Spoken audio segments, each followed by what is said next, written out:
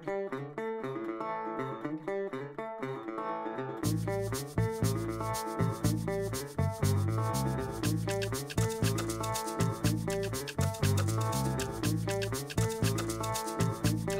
I'm Jochen Schleese. I'm here to help you tell if your saddle hurts your horse. Poor saddle fit can cause discomfort and pain, even resulting in permanent damage to your horse. Here are some signs to look for. Sore sensitive back, over the overdeveloped bulge, under neck, tight back, dip in front of withers, moving down and away from pain, stressed abdominal muscle, tight barrel, hunter bump, kissing spine, dry spots under wet blanket, white hair in the wither area, stumbling or tripping, cold back or cinchy, does he pin ears, rolls eyes or switch tail when saddling.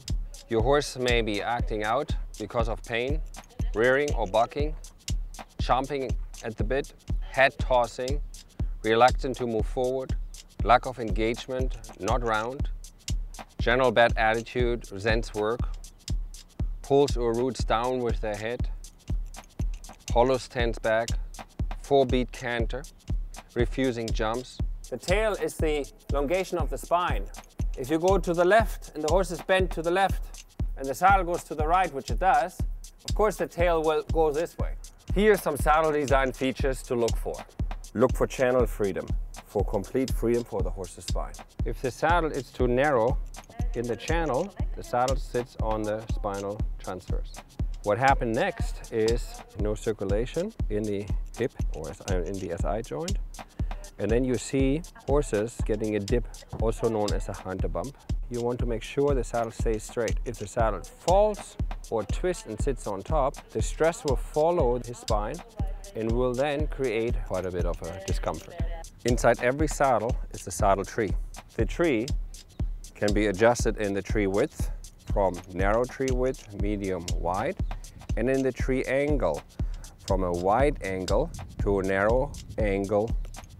Underneath every saddle tree is a gullet plate. The angle of the shoulder needs to match the angle of the tree. The shoulder comes back, the shoulder slides through.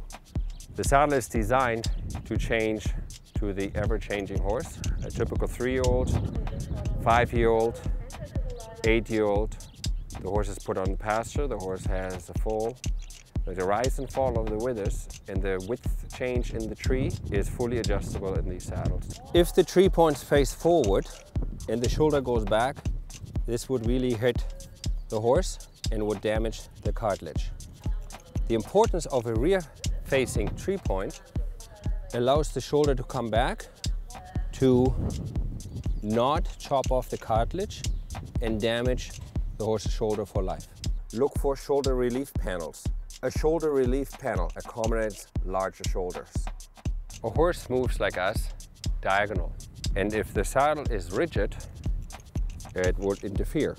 The freedom in the movement, if the saddle tree completely follows the diagonal motion of the horse's back and the swing of the horse. This horse presented with tension behind the saddle. Notice how the gluteal muscles in his rump pop up. He also has a ridge of tight muscles directly behind the back panels of the saddle. To avoid discomfort, he is effectively dropping his spine down, dropping his hip, and tensing up through his muscles. He is almost what we would call disjointed between the front end and the back end, and it's much harder for the rider to sit. The white spot on the withers is a thermographic image revealing heat and inflammation caused by pressure points from pinching saddle. Now that this horse is in a correctly fitting saddle, you can see that he actually has spring in his lumbars. He has stopped dropping his hip down and is traveling straighter and more balanced.